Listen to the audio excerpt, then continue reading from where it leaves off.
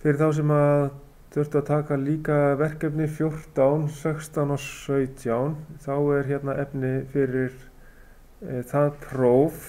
Það verður þá með e, öllum atriðunum sem að e, eru úr skýrslum 2 til 5 og sem, sem að tilherir B áfanganum.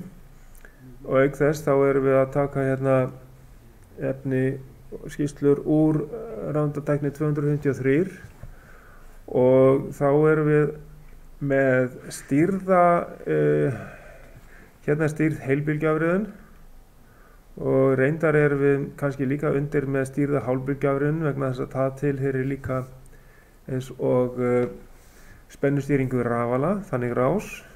Ef við skoðum þannig rás þá höfum við hana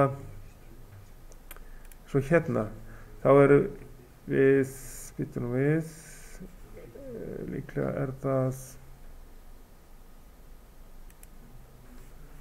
um, ég þarf að finna þetta hérna.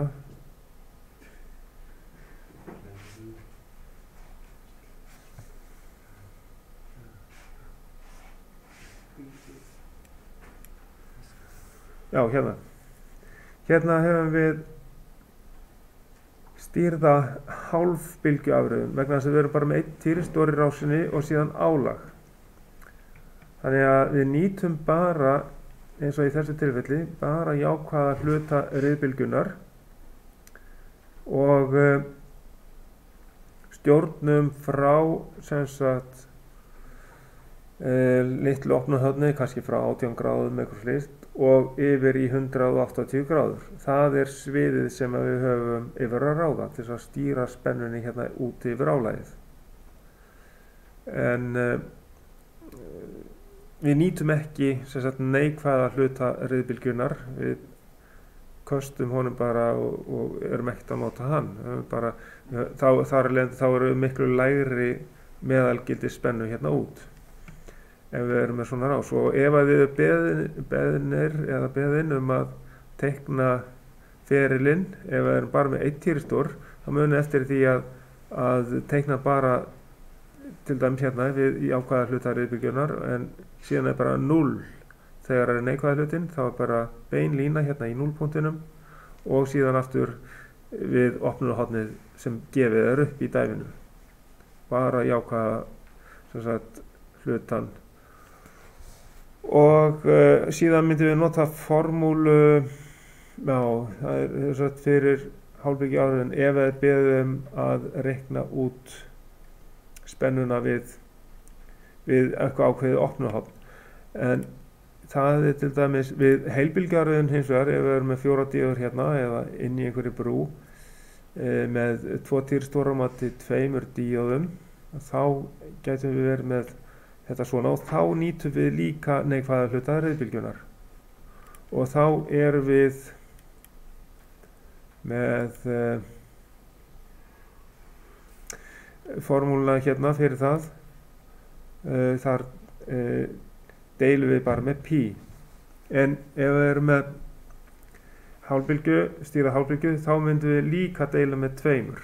Þá er hérna fyrir neðanstrygg tvisa sinnum pi en að því að við erum bara við erum að nýta bæði hálfriðin þá deilum við bara með pi í þessari formúli hér til að rekna út spennuna, meðalgildi spennuna út. Þetta er sérstaklega munurinn á hálf uh, sagt, já, stýriði hálfbylgjuafriðin og, og stýriði heilbylgjuafriðin sambærilegt væri við með hérna í verkefni 14 svona sjá hér. Hérna eru við með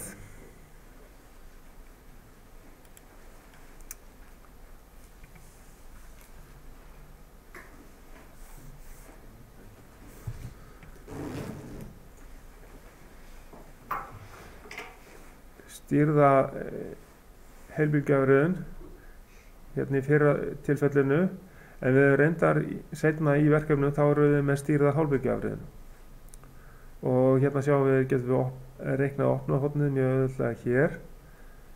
En uh, og hér í rauninni er spennan yfir uh, týristórin því að restina spenninu fellur yfir álægið sjá það hérna og uh, eins hér. Hérna höfum við síðan uh, spenna yfir, yfir þéttin og spenna yfir sinnendíóðuna líka í sömu stýringu. Er, þetta er stýrð heilbyrgjafriðan en bara stýrrásinn, mæling á því. En svo aftur á móti hérna hér erum við með stýrða hálbyrgjafriðan við vorum með einingu 1 og með uh, sagatannaspennuna og síðan erum við með 0 spennuna uh, fyrir 0 skinnjununa á pinna 5 og þá hérna er stýrispennan hér. Og nú sjáum við sem sagt uh, samanburðin á sagatannaspennunni og uh, stýrði hálfbylgjaðriðin Já, við sjáum það, við notum bara þá jákvæða hluta rauðbylgjunar. Þessi satanaspenna, hún gerir ekki neitt, þó að stýrispennan berir saman við uh, satanspenna, þá kemur engin púls þar. Og næst þá, sagt, við, þegar að rauðbylgjan er jákvæð, þá fáum við aftur stýripúls. Og uh, þetta er sennilega við minnsta opnunahotnið þá draugum við hérna þessa mælingu hér á þessum tíma frá 10 millisekundum því að 180 gráður samsvara 10 millisekundum og við fáum það út af þessu að tími opnunarhálsins tími minnsta opnunarhálsins er 1,2 millisekundur út frá því náum við hérna 21,6 gráðum sem minnsta opnunarhálsins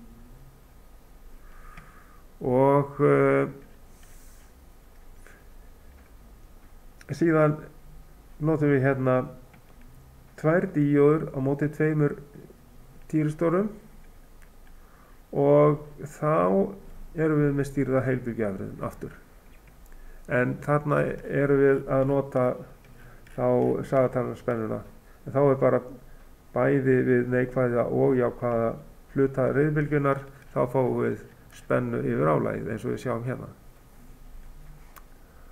Og uh, síðasta rásin er þá ef að týrstofnir snúa hvormóti öðrum og við notum riðspennu inn að þá er þetta eins spenna eins og við fáum í dimmerrás yfir álag, yfir glóperu.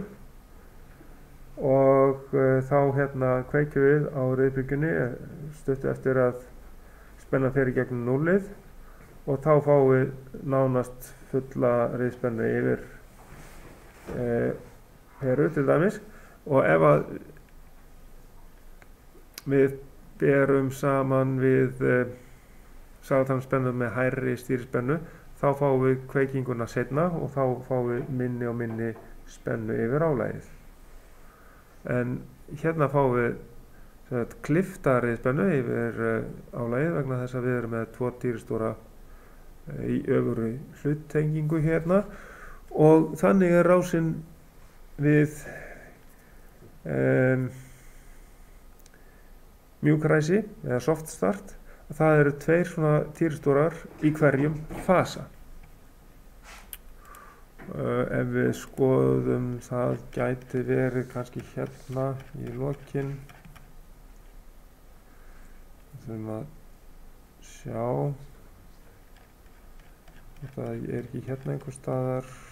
Æ, það er þá í öðru verkefni.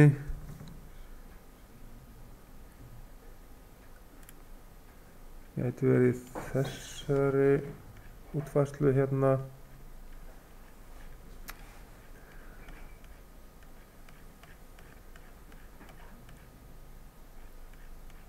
Hérna væri við með hérna eru við með tvo dýristóra í öfuru hluttengingu í hverjum fasa til þess að ræsa þryggjafasa mótor með mjúk ræsi. Þannig að þessi rás hérna er kraftrás mjúkaræsis með 6 dýristóran hins vegar rásin hérna hægra megin. Þetta er uh, tíðnibreitir eða hraðastýring fyrir þryggjafasa reyðströmsmótor en uh, hér er notuð aðferðin sem sagt pulse width modulation eða pulse vittar mótun til þess að uh, endur byggja uh, reyðspennu inn á mótorinn. Því að fyrst er spennan afriðuð og geimt hérna á þéttum og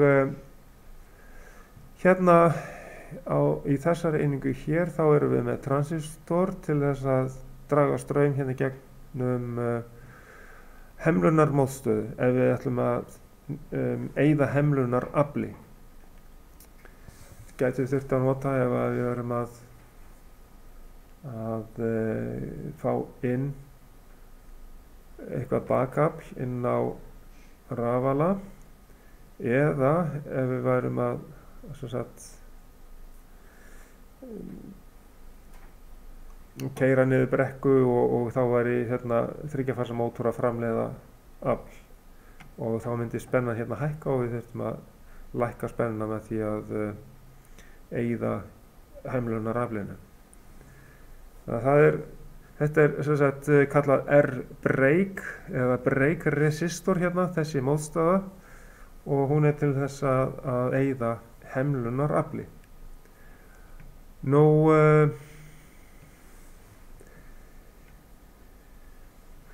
transistorarnir, já, þeir eru kallaðir insulated gate bipolar transistorar. Við fórum nú ekki mikið í það efni núna, þannig við höfum það kannski ekki endilega fyrir próf.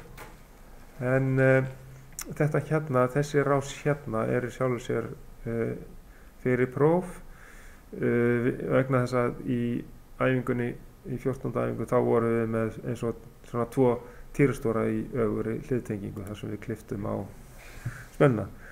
Sem sagt hérna þá erum við með þessa spennu hér uh, inn á, eins og inn á eitt fasa á mótor. Ok. Verkefni 16, þar vorum við með hraðastýringu fyrir jafnströmsmótor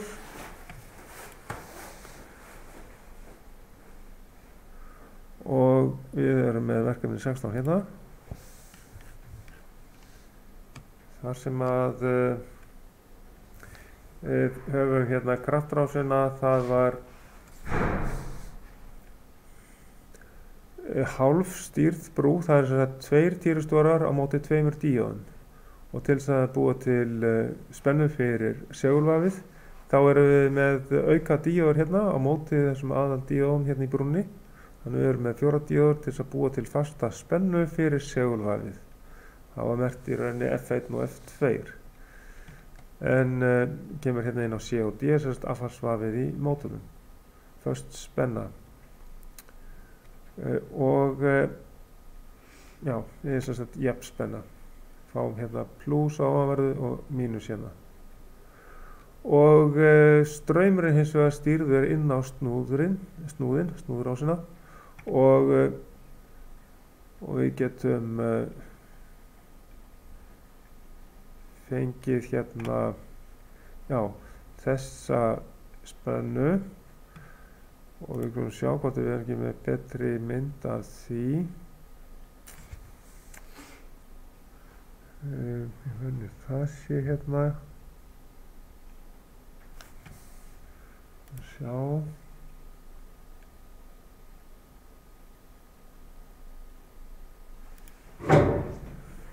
sé ekki þessi dölum við það er 16 já Jú, alltaf ekki þessi hérna. Já, það er þessi hérna. Þannig að, að hér höfum við sem sagt mælingu á uh, snúnisaða á móti spennu. Ef við setjum hærri spennu út á svona mótor, járstansmótor, hærri spennu þá fáum við meiri snúnisaða og þetta er nokkuð línulegt samhengi á milli spennunar og snúnisaðans. og um, Við skoðum sem sagt ströyminn sem er blái ferillin hérna. Hann byrjar að vaksa þegar við fáum spennu frá spennugjáfanum, frá stýringunni. Það eikst ströymurinn hérna og þegar að spennan frá spennugjáfanum fellur niður í 0 þá tekur strömskipti díóðan við að leiða þar til að e, ströymurinn e, verður að engu hérna og þá kemur aftur spenna frá e, snúðunum, sem sagt spönuð mótspenna en það rennur engin ströymur aftur fyrr en við fáum spennu frá spennugjáfanum. Þá vex ströymurinn aftur í snúður ásinni og uh, þetta var nú uh, sem sagt alveg eins mynd hérna.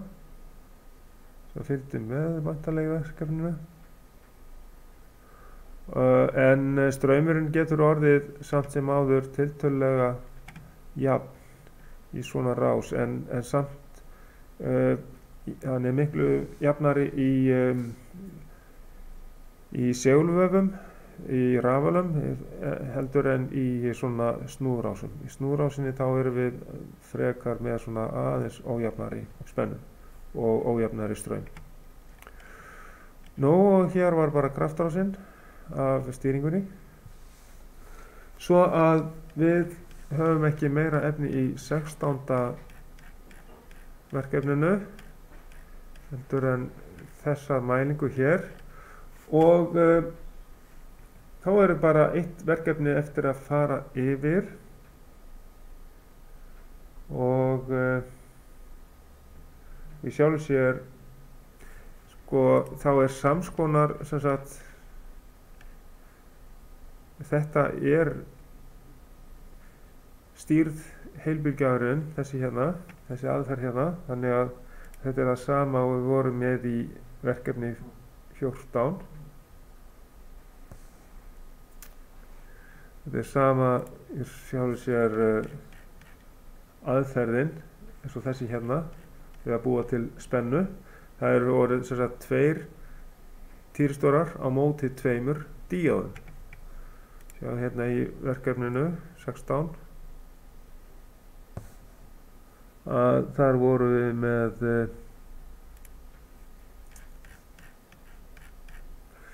tvo týristóra á móti tveimur díðan, þetta er alveg eins. Eins afröðunar ás þeir stýrða heilbílgjafriðin en brúin er sem sagt hálf stýr vegna þess að við erum með helmingin af íhlutunum stýrða og uh, við erum ekki að nota hérna, hemlunaraflið þessu, við getum það ekki vegna þess að við erum að, með jákvæða spennu frá 0 til 180 gráður. Þannig að við, við getum ekki nýtt neitt hemlunarafl frá þessu. Ok, þá skulum við skoða spennureglinn. Æfingu 17 og það er þá hérna Þar eru við með eh, mynd af spennunni.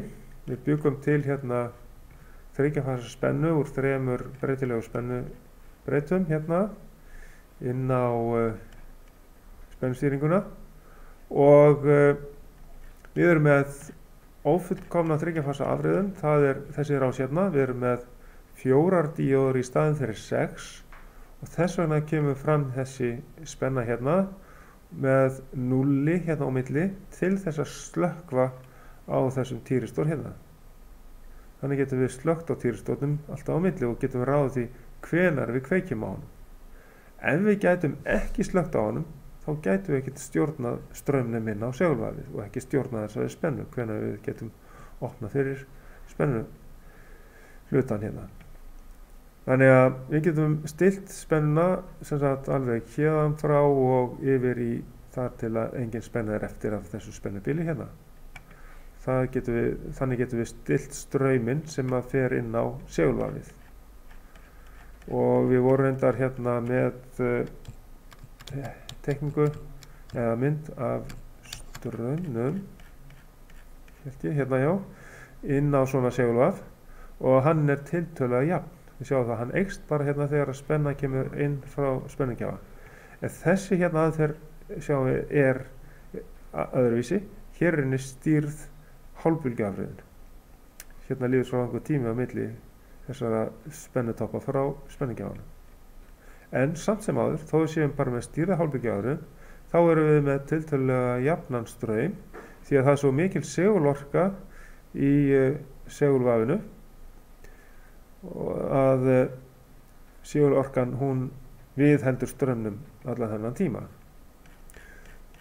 Og það það er rauninni það gerist bæði hérna í þessu hluta hér og eins í þessu DS7 hérna er rauninni aðalega DS7 sem er að sína okkur þennan ströym þetta er ströymskipti díóðan DS7 hérna, þessu, þessar rás. En uh, það sem við skoðum fleira hér það er í rauninni þessi formúla hérna sem er svona hjartað í þessum spennuregli uh, og uh, inn á 2 og 3 kemur raungildið frá sátri rafalans og það er einangurinn hérna með segulsviði í þessum spenni. Og við búum til jafnspennu hérna, það er afriðun og síun hérna. Við búum til jafnspennu yfir viðnámið R6 það er rauninni raungildið. Það er jafnspenna sem samsvarar því raungildi sem er á uh, frá rafalanum á spennunni út á sátrinu en það er náttúrulega í rauninni bara brot af þeirri spennu sem er þar á ferðinni. En hún er alltaf smækkuð mynd af þessu raungildi. Og uh, er rauninni öðruvísi annars uh, eðlis. Hún er sem sagt jafnspenna í staði þess að raungildi er í rauninni riðspenna. Raungildis riðspennunni er breytt fyrst í jafnspennu og hér höfum við síðan óskgildið sem er fast e, á þessari rás hérna. Það er fast spennu gildi yfir þessa senerdíóði hérna sem heldur yfir sig ákveðinir fastri spennu. Sem sagt senerdíóðin hérna vinnur með þessu viðnámi hérna er ráta í því að halda þessari spennu hérna fastri. Þannig að það er usetta eitt í þessari formúli hérna og ef að raungitið breytist frá ráðalan, til dæmis ef að eikst álægi á ráðalan og spennan lækkar þá lækkar spennan á R6 en hinn spennuföllin verða að hækka á móti til þess að þessi formúla gangi þessi jafna gangi. Þá þar með hækkar base eftir spennan og við það þá eikst ströymun í 1 og það er það sem að í rauninni þið eigið að sjá út úr þessari rás hvað þetta gerir. Þið þurfum í rauninni ekki að svara því sem að gerist hérna áfram því að það er rauninni nóg fyrir ykkur að skilja hvernig þessi formúla virkar. Við tökum hinna möguleikan ef að spennan hækkar aftur ef að léttist á, á, af álag af rafalanum þá hækkar spennan inn, raungildið hækkar. Þar alveg verður spennan yfir R6 herri og þá verða hinnar spennunar að lækka á móti. Og ef að uppeyðisverðin með spennan lækkar að þá dregur það úr strömmnum hérna í gegnum transistorinn og það er rauninni bara svari sem þið þurfuð að gefa hvort að ströymurinn hérna lækkar í gegnum transistorinn eða hvort að ströymurinn ekst um, ef við skoðum hérna aðtriði varðandi þetta þá um, það er líklega eins og eins og hérna. Það er spurt hérna útskýri hvað áhrif það hefur á transistor 1 ef að raungildið hækkar inn á rásunni þá er hérna svarið sem sagt að uh, transistor 1 sjá þetta hoppaði hérna til.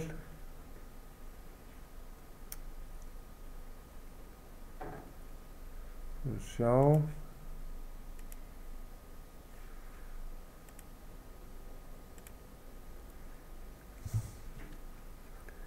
Að loka eitthvað þessum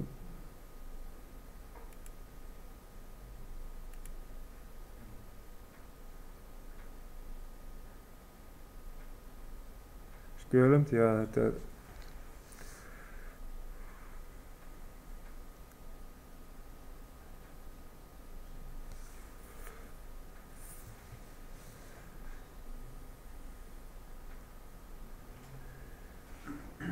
ef að sem sagt spennan inn hækkar, svona sjá, nú fer þetta allt, allt að lagast, svona sjá, við bara lokum fleiri skjölum, þá kemur þetta allt saman. Já, og þetta komið núna.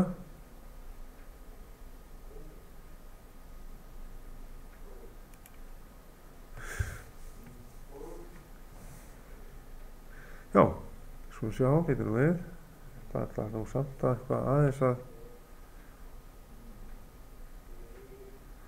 Ég er að vinka fjölda af skjölunum sem eru opinn hérna.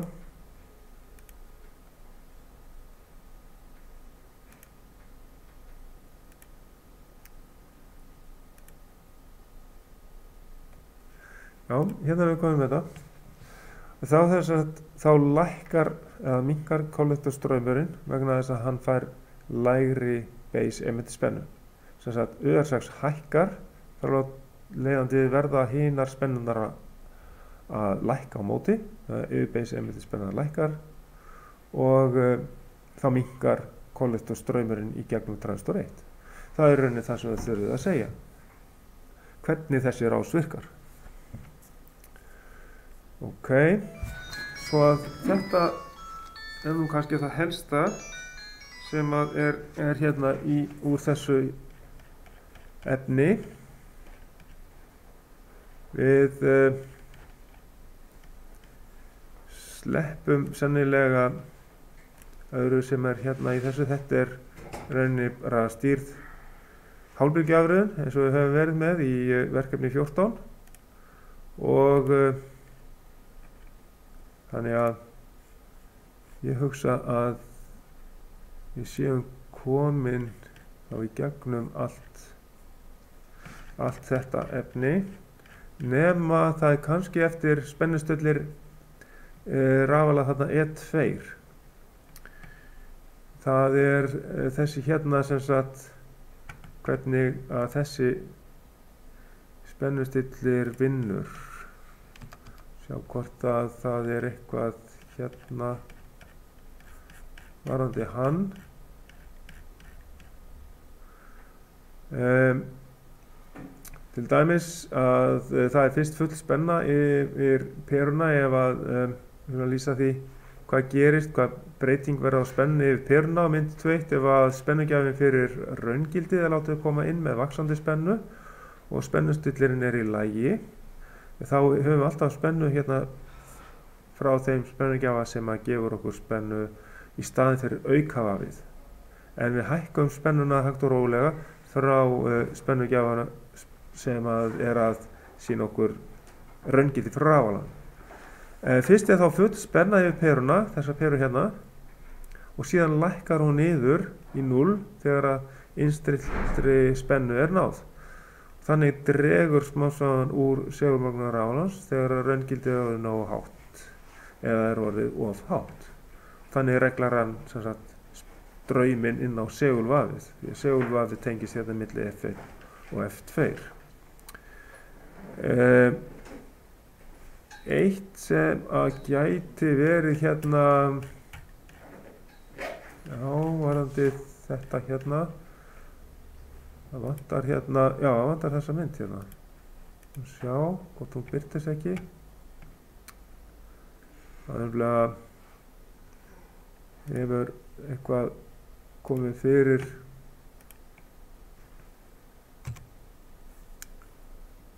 Nei, þú sjá.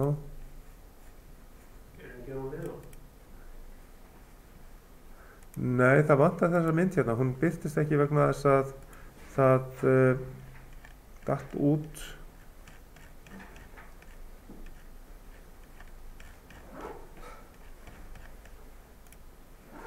Uh, vegna, vegna þess að minn, vinsluminnið það, það fór. Sjá. Sjá hvort við getum ekki náð henni aftur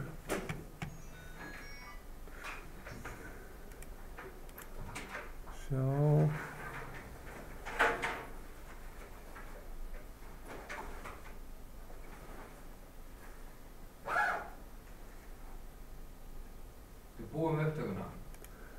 Nei, ég ætlaði að fara í eitt uh, varandi tenginguna þarna í þessu verkefni hér Já.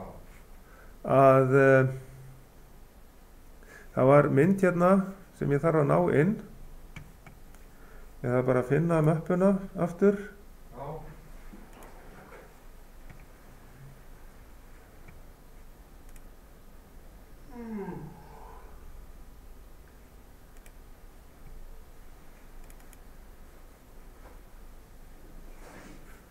sjá, ég þarf að prófa að loka þessu aftur og sjá hvort að ég ná þessu aftur upp hérna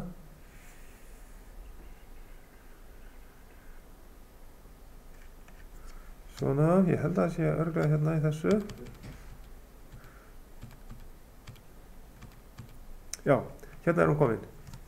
Ég sjá þetta er í rauninni myndin af uh, vöfunum í rafalanum og það er mert hérna A þar sem kemur spenna frá sátri sísegur rafalans. Og uh, þannig að það er spurt hérna í verkefni 17 var, var gerð prófun á spennustilli fyrir rafala uh, og rafbúnaður í tilhörnastofu kom í staðið fyrir þættina hérna A, B og C sem er mentir inn á þessa mynd hérna. Og uh, A-ið er sem sagt spenna frá þryggjafassa sátri sísegul rafala B-ið er raungildi frá aðalsátrinu raungildi spennan eh, spennan út af að, aðalsátrinu C-ið er hins vegar ströymur sem sagt fyrir eða segulmögnunar uh, vafið. Og uh, hérna er segulmögnunar rafalinn sem framleiðir þryggjafassa spennu fyrir uh, pólhjólið sem er í rauninni þetta segul vaf hérna lengst til hægri. D, þetta er strömskipti díðan fyrir það hún teiknuð sem senadíða og en sem sagt að uh, hvað nefnist þessir þættir í ráðalanum, ég hef búin að merkja það eða segja það að A er spennað frá þryggjafassa sátri sísögur ráðala B er raungildi spennað frá aðalsátrinu og C er segulvafið. Og hvernig vinnur spennustýringin með þessa þætti? Uh, spennustýringin vinnur með þessa þætti þannig að hún fær aflið frá þryggjafassa sátri sísögur áhans, þar fær hún aflið frá A. B-ið, þá tekur hún raungildi frá B-inu og sendir segulmagnaströym inn á C sem er segulvafið og síðan er spurt ég það hvernig væri hægt að skipta um og tengja spennustilli fyrir rafala með aukavafi fyrir þetta kerfi? Jú, það væri hægt að gera það þannig að það væri hægt að skipta spennustýringunum með því að aftengja fyrst A, B og C, það er þetta hérna. Og tengja saman tengingu 8 og setja 2 á þessari hérna stýringu hér 8 og setja 2 það var í rauninni fyrir uh, aukavafið millir 7 og setja 2 það var aukavafið. Ef við tengjum 8 og setja 2 saman þá er bara ein spenna inn um, aðalega millir 8 og 7 og 8 og setja 2 er sambundið. Og tengja 7 og 8 inn á B sem er uh, raungildið inn. 7 og 8 er raungildið og aflið frá sátrinu F1, F1 og F2 það færi inn á C sem er segulvafið. Og þá er sagt það er bæði raungildi og afl tekið frá B frá uh, sátrinu aðalsátrinu þannig að það væri hægt að tengja spennustilli E2 í staðinn með þeim hætti. Ok, þá erum við búin að fara yfir þessi atriði sem eru þá fyrir próf 3